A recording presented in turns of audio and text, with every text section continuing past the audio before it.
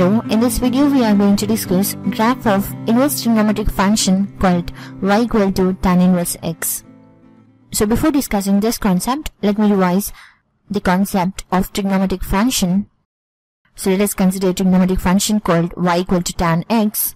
And for this function, let us consider domain and range.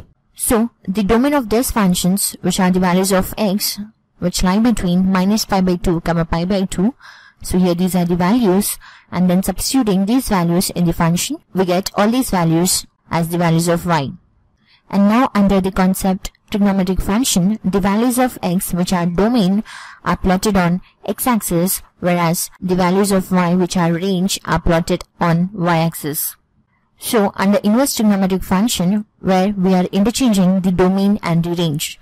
So here the x becomes the range and these are plotted on y-axis whereas y becomes the domain which are plotted on x-axis. So let us consider a graph over here where pi by 2 comma minus pi by 2 are infinity.